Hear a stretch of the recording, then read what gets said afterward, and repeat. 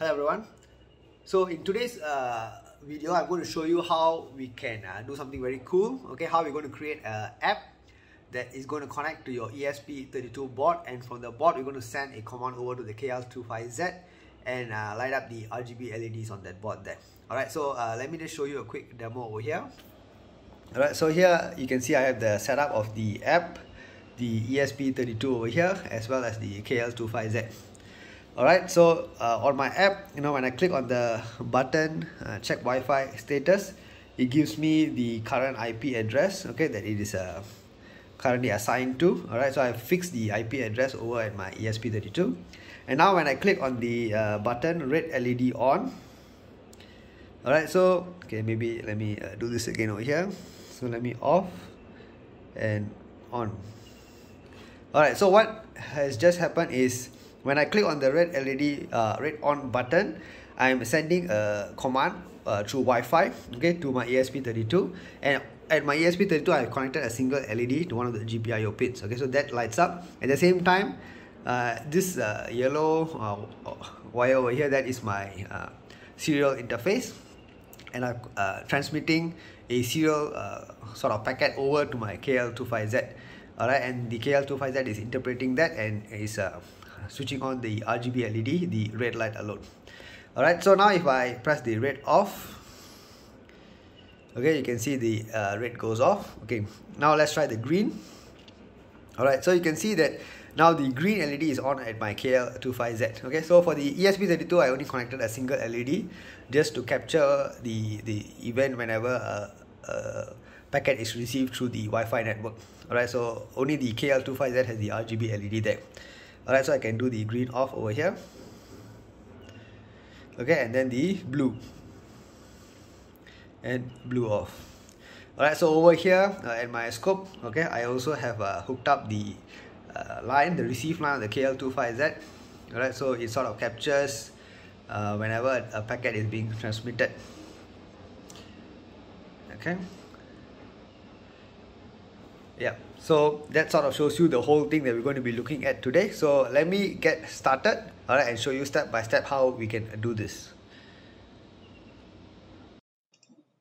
All right so what we're going to do now is we're going to go through the steps okay to uh, sort of uh, put everything together all right for the demo that i just showed you. All right so the first thing we're going to do is go to file click on the examples all right for the arduino uno uh, ide and go all the way down to wi-fi all right and look for this uh, uh, available uh, code already given to us called Wi-Fi scan.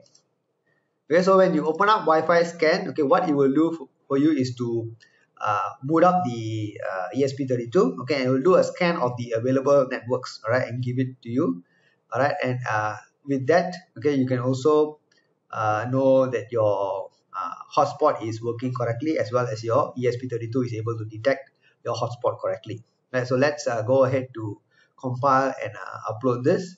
So this uh, takes a while all right so you need to be a bit patient. It takes a, a few minutes maybe about two or three minutes to compile and then uh, upload to your board okay, so you don't need to make any changes. You just need to compile and just let it uh, upload. And once it's uploaded okay you can uh, open up the serial monitor and um, check for the available networks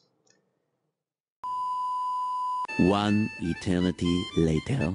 So you can see down here it is uh, finished the compilation and it has uh, downloaded it to the ESP32 board.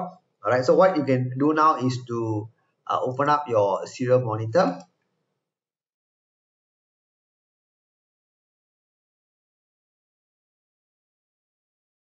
And um, you can see that it has found uh, nine networks here. Alright, so my hotspot is my phone. Okay, the first one, the Android okay so this sort of gives us uh, the confidence that the ESP32 is working well okay and it can detect your hotspot correctly.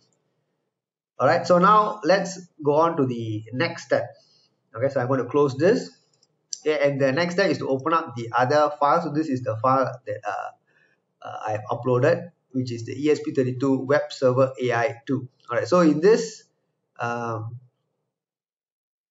what you can do is you once you open it up all right so the very first time okay uh, that you want to run it okay you can uh, comment off this portion here which is to uh, configure the static IP okay so this portion here configure static IP is once you know the IP address alright? So if you already know the uh, IP address that your ESP32 is uh, using when it connects to your hotspot then you can fix it.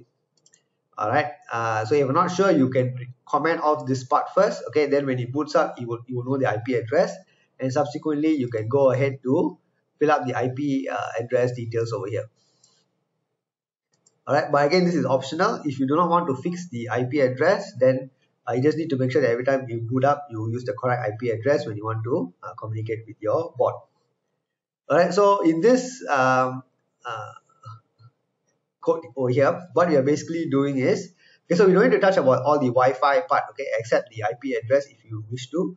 Now the the part where we are going to communicate okay with the board is over here okay where in the loop alright basically what it will do is okay you are able to communicate uh, with the uh, sort of device okay with a any browser okay and you just need to key in the IP address with a slash and the command that you are sending. Okay so this request index of okay this string here is the sort of the uh, command you're sending together with the IP address. Okay so for example okay let me open up my uh, browser over here. Okay so uh, since I refreshed my code just now I need to make sure I refresh in this new code. So let me upload this code first to my uh, ESP32 so this will fix the IP address alright make sure that this new code is uh, running. Okay so as you can see now this uh, new code has been uh, uploaded. Alright so once you have uploaded this code alright uh, you can just reboot your uh, your ESP32 okay so as you can see here if I open up the serial monitor I actually am able to see that it's connected alright so uh, the IP address 192.168.153.189 is there. So let's go ahead. Alright so now you can see it's connected. So when I key in my IP address okay in my browser okay I don't get uh, it's a blank page. Okay there's no error but it's a blank page. Okay that is because we are not currently sending any data uh, from this we're not hosting any uh, sort of data at this uh, uh IP address at the moment. Alright so what we can do is we can uh, send some commands based on what we already have. So if I key in status okay as the sort of command that is attached to this IP address you will give me back this uh, Wi-Fi connected okay with the IP address uh, that is currently assigned to your um, ESP32 okay similarly I can also do the on rate here and off rate. So right now actually uh, on my board the red LED is on okay and I can also do the off rate over here okay and switch off the LED alright so this is basically what I mentioned uh, where you can design any web interface to directly send commands to your system. Alright now let me just uh, show you the app interface. Okay for the app interface uh, we are using the MIT app inventor. Alright it's a very easy um, a block based coding approach okay? And uh, if you are new to it you can check out some of my other videos at the docr YouTube channel alright to sort of get familiarized with the basics. Okay and over here you are just going to create some simple buttons over here. And uh, under the blocks okay what you are basically doing is I am um, making sure that for each button press I uh, send okay uh, or sort of send uh, the command as a web uh, URL alright so this is basically what we keyed in just now okay the IP address with uh, slash whatever status on rate off rate whatever. Alright and basically this will help me to send the commands to the IP address that is mapped to the ESP32 alright so now as you can see the user interface part is actually very easy very straightforward. Now over at the ESP32 side let's just look at what happens. Now when I send a command over okay uh, basically what is happening is uh, I have a red LED sort of connected to the GPIO pin pin 26 so that sort of activates okay uh, every time the on uh, command is sent. But at the same time what I'm doing is I am doing a serial write. Okay I'm using serial 2 okay because serial uh, the, the main serial port is currently used for the uh, debugging and downloading of the code. So serial 2 is now being used to connect my uh, ESP32 to the KL25Z so that is the uh, yellow color wire just now I showed you. All right and with that what happens is okay so in terms of the connection the hardware connection you can uh, look back at our uh, document okay that I've shared.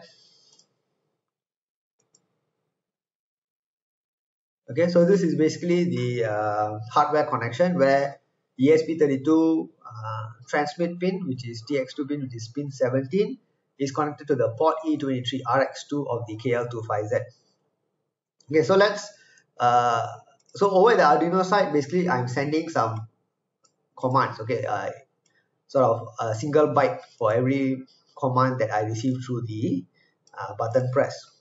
Okay and over at the KL25Z basically what I'm doing is I am sort of interpreting that information okay? So in the receive poll I get the data and subsequently I just do some masking okay to distinguish between whether it's on or off all right and um, call the appropriate LED function.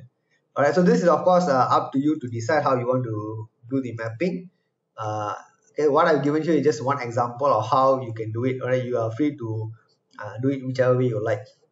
All right and then uh, this sort of gives you the whole uh, framework all put together. All right so basically what is happening is over at your uh, KL25Z, uh, so over at your app, okay, or your web UI, you're going to send some commands to the web server, okay, and the web server, okay, will receive that, okay, and it will then send uh, appropriate command over the serial port, and your KL25Z will receive that through the receive um, code and interrupt that you're going to be writing, okay, and then that will sort of uh, help you to interpret.